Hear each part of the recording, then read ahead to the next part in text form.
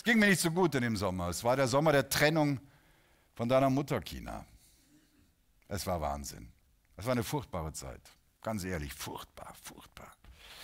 Am Ende hatten wir nicht viel mehr gemeinsam, als dass wir am gleichen Tag Hochzeitstag hatten. Die Zärtlichkeit war irgendwie weg. Sie hat mich nur noch gestreichelt, weil sie dachte, ich sei unser Hund. Dabei hatten wir gar keinen Hund.